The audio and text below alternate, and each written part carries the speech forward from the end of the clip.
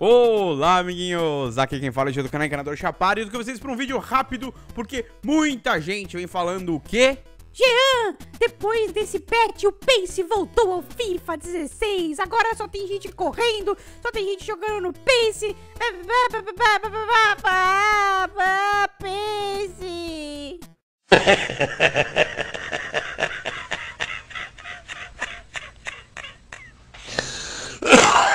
E eu, como sou uma pessoa que gosta de procurar as coisas, não gosta de dar uma resposta vaga, eu, eu fui atrás. Eu fui atrás, a maioria das pessoas me dizia que na demo, comparando com o jogo agora, do jeito que está depois do patch, o jogo está muito mais rápido, não sei o que. Então eu fui fazer um teste, é um teste simples, é um teste rápido, porque o que eles estão chorando é pace, quer dizer que a velocidade do jogo mudou. Então o que eu fiz, eu baixei o demo de novo, baixei o demo do FIFA 16 de novo, e comparei, fiz duas cenas iguais praticamente no jogo, peguei o Bale, corri do começo da área é, do meu time até a começo da área adversária e corri com o Bale tanto na demo quanto no jogo normal. Os dois jogos estão contra o Barcelona, os dois jogos estão no iniciante, na dificuldade mais fácil. Tem um pouquinho ali, óbvio que tem uma coisinha diferente do outro, porque não dá pra recriar 100% fiel o mesmo lance, mas é praticamente igual. Então eu fiz isso, comparei nos dois e agora a gente vai ver, vamos ter uma resposta científica, entre aspas, aqui, pra ver se o jogo realmente tem mais pace agora ou se tinha é,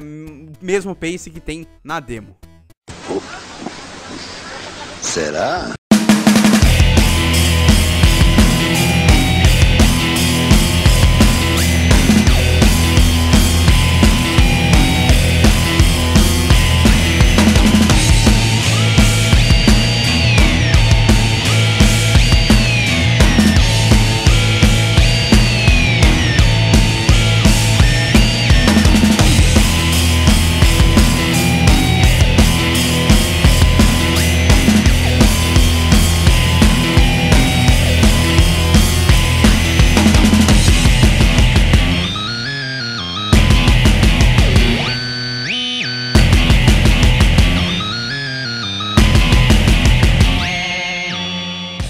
Então, galera, eu, a minha visão baseado nessas imagens é que não mudou nada. O que o pace em si está o mesmo. Isso não mudou. Você pode ver ali, os caras começam no mesmo ponto de partida e eles terminam praticamente ao mesmo tempo no ponto de saída, né, cara? Eles começam no ponto A, que é lá perto da área do goleiro dele, e terminam no ponto B, que é lá perto da área do goleiro adversário. E é praticamente no mesmo tempo. Eles não tiveram quase nenhuma aí é, interrupção no caminho da corrida deles, foi uma corrida bem reta.